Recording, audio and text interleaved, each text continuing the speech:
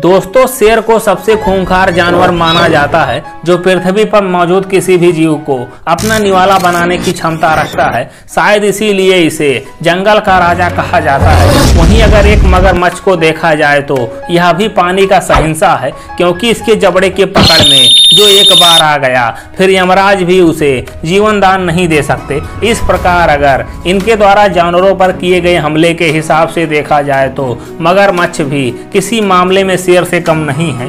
पर अगर शेर और मगरमच्छ का आमना सामना हो जाए तो दुनिया का कोई भी मगरमच्छ किसी बड़े शेर को नहीं हरा सकता, क्योंकि प्रकृति ने मगरमच्छ को सिर्फ़ ताकतवर जबड़े प्रदान किए हैं। वहीं शेर के पास मज़बूत पंजे, तेज भागने की क्षमता और किसी भी जीव को चीर फाड़ डालने के लिए चार बड़े दांत प्रदान किए हैं, जिस कारण ये शेर मगरमच्छ से कहीं ज़्यादा खूंखार और ताकतवर होते हैं। इसीलिए ये मगरमच्छ इतना आदमखोर होते हुए भी शेर से हार जाते हैं।